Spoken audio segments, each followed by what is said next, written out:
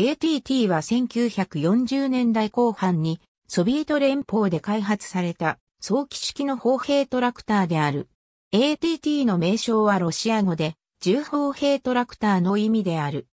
ATT は1940年代中頃より T-54 戦車の走行装置を流用して開発された車両で25トンの牽引力と5トンの積載能力を持っていた。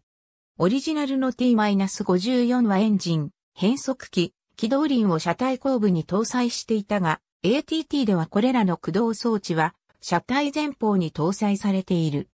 車体上部は非走行のカーゴトラックのような形状で、運転台部分は JIS-150 あるいは JIL-164 のキャブをベースに幅を広げ、乗員4名が搭乗可能なものとなっている。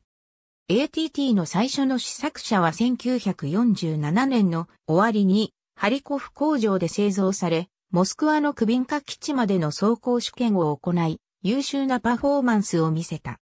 ATT の開発責任者であったアレクサンドル・モロゾフは開発元となった T-54 の成功もあり、1948年のスターリン賞を授与されている。ATT はソ連軍、東ドイツ軍などで運用されたほか、軍から放出された車両が民間でも使用された。ATT は何種類かの特殊車両のベースとしても活用されている。ありがとうございます。